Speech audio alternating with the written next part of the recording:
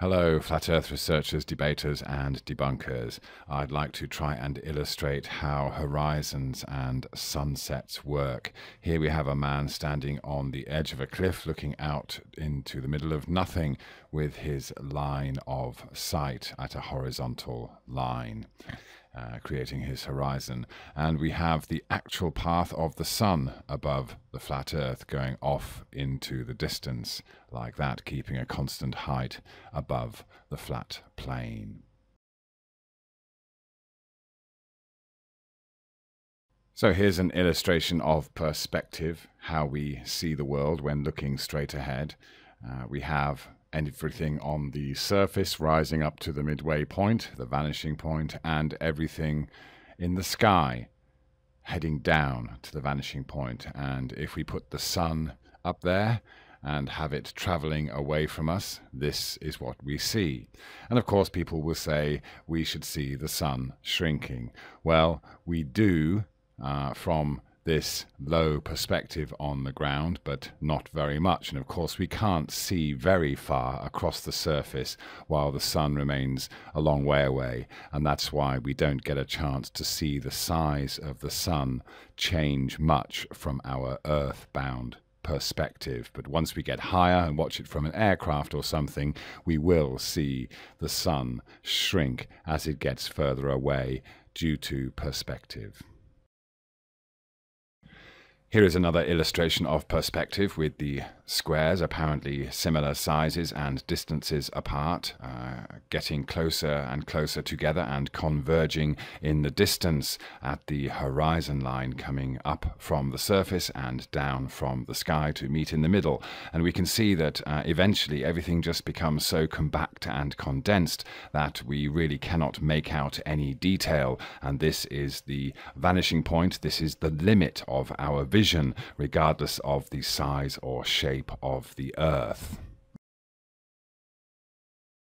But this is still not a true representation of how we see the world from our Earth-based perspective, low to the surface. It should be something more like this.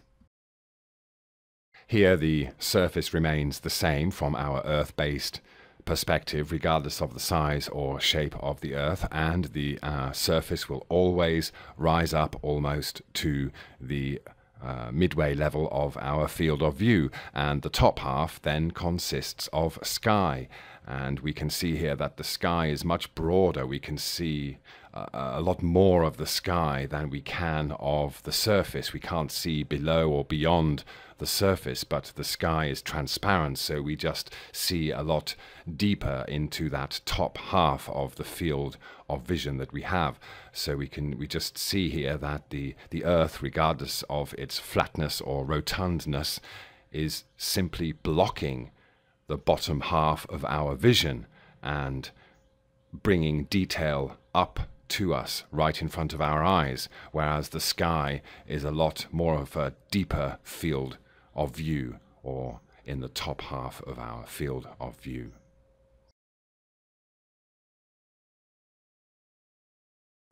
Back on the mountaintop, we have uh, the perspective of the observer, represented by the perspective grid down on the right-hand side there, and uh, those purple arrows representing uh, the lines of convergence to that observer's horizon.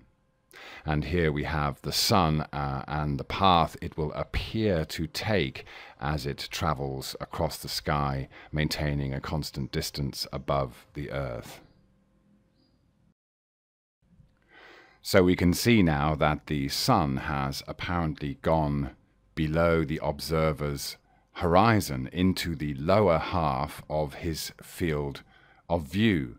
And as we've already seen, the surface, no matter what shape or size, always takes up the lower half of our field of view. So while what this gentleman can see here is space in front of him, we don't ever have the situation. We always have something like water in front of us. And that's how horizons work. It's all in the eyes of the observer and what is taking up the bottom half and top half of their field of vision. It has nothing to do with the shape of the Earth. Thank you.